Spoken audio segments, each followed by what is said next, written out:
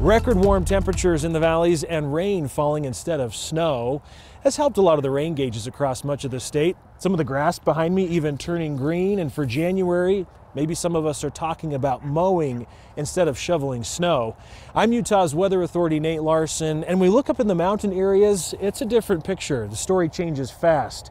Uh, snowpack levels are still very low for this time of year, and some experts say that the rain actually falling now with our storms could be setting us up for water problems later this year.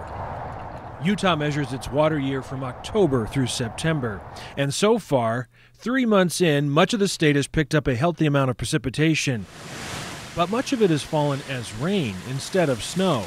And while that helps on paper, it's not the kind of water the state relies on heading into spring and summer. The last storm cycle was actually really good. We went from 55 to 75% over the last week. So it has actually improved quite a bit just from one storm cycle, which shows the sensitivity of our seasonal averages to individual events. That jump is encouraging, but climatologists say how precipitation falls matters just as much as how much. That we are fairly concerned about for Uh, looking forward for drought impacts next year, water availability, reservoir levels, because a gallon of rainwater delivered in the middle of winter is not the same as a gallon of water in the snowpack that melts in April and May. Snow acts like a natural reservoir, releasing water slowly as temperatures warm.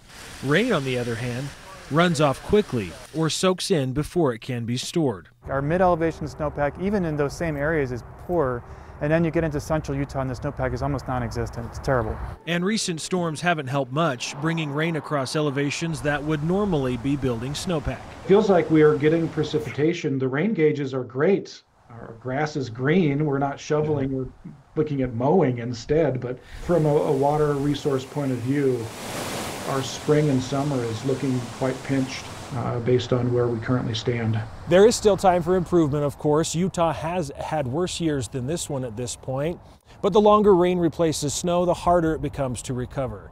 I'm meteorologist Nate Larson, Fox 13 News, Utah.